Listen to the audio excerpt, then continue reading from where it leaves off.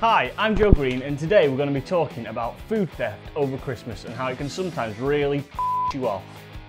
What? Of course I can say really you off. Food thievery. You know what I mean? When you go to the fridge thinking something's there and it's gone. You don't know where it is. Well, this is a couple of ways that you can deal with that, that problem. Is, uh, is that my milk? Yep.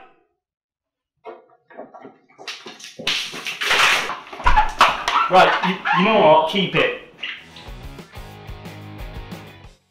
Is, uh, is that my milk? Oh, yeah. Is it alright to borrow some? No, you know what? Don't worry about it, I actually bought it for you. oh, thanks. Cheers.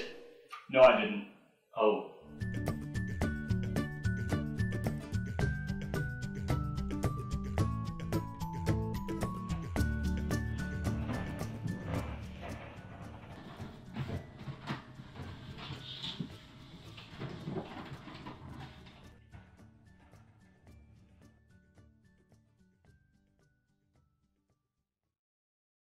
Steal the milk!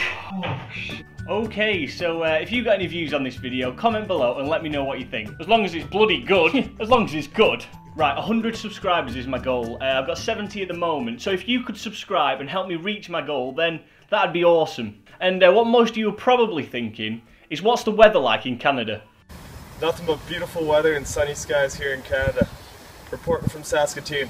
Back to you, buddy. Thanks, Anil. Right, so I'll be doing a couple more videos around Christmas. Let me know what you think. Get in touch, and uh, fingers crossed we can reach this 100 subscribers by Christmas. Merry Christmas!